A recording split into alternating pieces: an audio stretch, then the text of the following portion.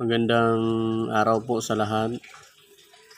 Lalong-lalo na sa mga subscriber. Meron tayo ngayon dito sa, meron ako dito ngayon GBC, isang 21 inches na GBC na kung saan ang trouble ay nag-blink yung uh, power lights niya.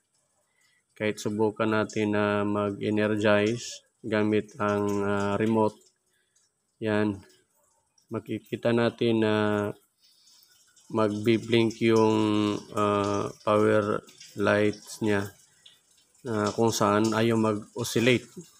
So karamihan sa mga nadaanan na natin na mga ganitong sitwasyon, may mga problemang kapasitor, shorted minsan sa flyback, isa na rin dito yung mga sa secondary section talaga kasi meron naman siyang power sa primary yan, pag ginamitan mo ng remote, saka press mo yung power, agad na mag-blink meaning umaatras yung voltahe niya pabalik sa primary lines, sa primary section.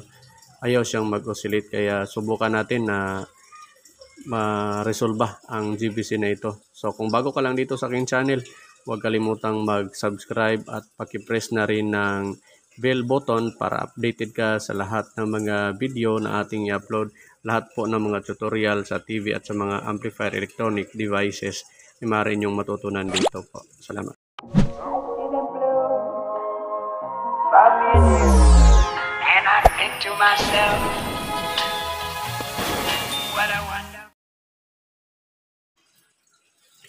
Ito na yon, ito na yung pinaka main board niya So, na-visual check na natin to kanina.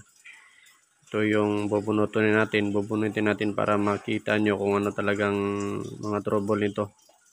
So, na-check na rin natin. Na-visual check na natin. Ito yung primary section niya. Ito yung power supply niya primary. Diyan po nakakuan yung regulator. At saka ito yung dalawang IC niya. Yung uh, system IC at saka jungle IC yan ang control ng power din. At ito yung flyback ito yung horizontal at saka yung vertical uh, vertical IC yan po ang banda ng uh, secondary section. Check check na rin natin ang mga yat ito yung tuner pala. At saka ito yung voltage chopper. Ito yung secondary parts niya Kanina may nakita tayong parang lumulobo na isang kapasitor at yun ang suspect natin na trouble sa banda dito sa likuran dito sa may jung, uh, sa may vertical IC yan oh. Yan ang makikita nyo bang lumulobo yung ano niya yung ulo ng kapasitor. At yan na rin ang karamihan na, na damage. Yan rin karamihan na trouble sa mga ganitong issue ng TV na ayaw mag-oscillate ayaw magtuloy yung power niya sa secondary kaya mamaya bubunutin natin subukan nating palitan yan. Kahit ganyan kaliit kasi may malaking trabaho yan sa system eh. Kaya it a few moments later. It... so ito na yon na tanggalan natin na pull out na natin yung maliit na kapasitor na kung saan titing kung titingnan natin medyo makikita natin na lumulobo na yung bandang head niya at saka yung puwitan niya. Tumataba na rin kaya kailangan ng palitan. Ito yung pamalit natin. Bago siya. At saka 4.7 pala yung value niya. 50 volts 4.7 UF kaya Palit na natin sa day 3, day 4. Ito na yon napalitan na natin yung kapasitor niya ng bago. 4.7 UF 50 volts.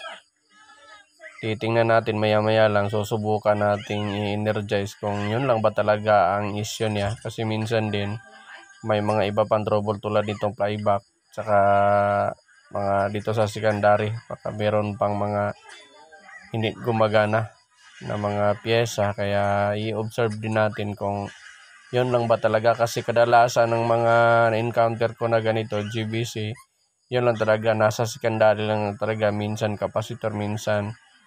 May mga pagkakataon din itong IC na to. Nagto-trouble din. Kaya, kaya isa din ito sa magiging dahilan ng uh, nag-uutos ng pag-energize Kaya hindi tayo masyadong kampante. Pag mag-trouble yan, wala ding output sa secondary power. Kaya maya-maya subukan natin kung yun lang ba talaga ang damage niya. 2,000 years later. Okay, subukan natin na energize. Ops, nag-oscillate na siya. So, observe lang natin ng sandali. Tingnan natin yung red light niya kung oh, wow, nag-red light na rin. So, okay na. Yung tingnan natin yung picture kung may okay, may raster na. So, okay na yung TV. So, yun lang talaga ang trouble. So, kung bago ka lang sa aking channel, huwag kalimu- kalimutang mag-subscribe kasi marami pa tayong mga video na i-upload na mag- makapagbigay ng aral, lalong-lalo na sa mga estudyante mag-aaral o mga nagsisimula pa sa electronics. So, yun lang po. Maraming salamat sa panonood. Thanks for watching. Hanggang sa ulitin. Bye-bye. Thank you.